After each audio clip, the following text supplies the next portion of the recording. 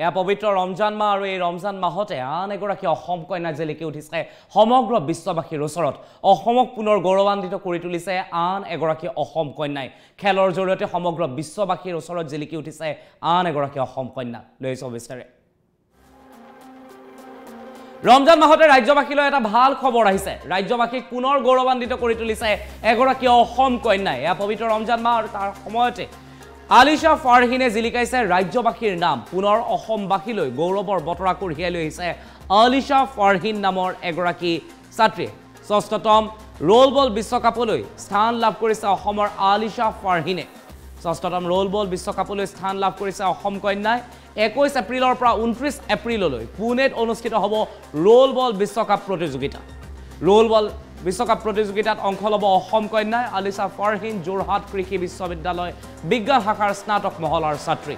এই মুহূৰ্তৰ এক গুৰুত্বপূৰ্ণ খবৰ আমি আপোনালোকক জনাই আছোঁ। ৰাজ্যবাসীলৈ আন এক ভাল খবৰ। এই ৰমজান মাহতে ৰাজ্যবাসীলৈ এক ভাল খবৰ কঢ়িয়াই আনিছে এগৰাকী মেধাৱী তথা প্ৰতিভাৱান ছাত্ৰীয়ে।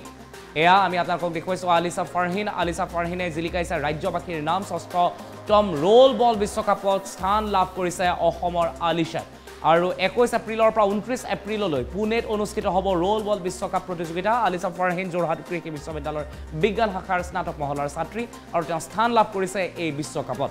ৰমজান মাহতে এই সুখবৰ আহিছে সমগ্ৰ ৰাজ্যবাসীৰ বাবে আৰু এটা ভাল খবৰ আৰু এই ভাল খবৰে প্ৰতিগৰাকী অসমীয়াক জিলিকাই তুলিছে উজ্বলাই তুলিছে কাৰণ খেলৰ ক্ষেত্ৰখনত এতিয়া প্ৰতিগৰাকী অসমীয়াক গৌৰৱান্বিত কৰি তুলিছে ইগৰাকীৰ পিছত সিগৰাকী খেলুৱৈ। বিশেষকৈ মহিলা খেলুৱৈসকলে অসমবাসীক গৌৰৱান্বিত কৰি তুলিছে। প্ৰতিগৰাকী মহিলা খেলুৱৈ এতিয়া অসমৰ নাম স্বৰ্ণীল আখৰেৰে লিখিবলৈ সক্ষম হৈছে। ৰমজান মাহতে ৰাজ্যবাসীলৈ এই ভাল খবৰ কঢ়িয়াই আনিছে।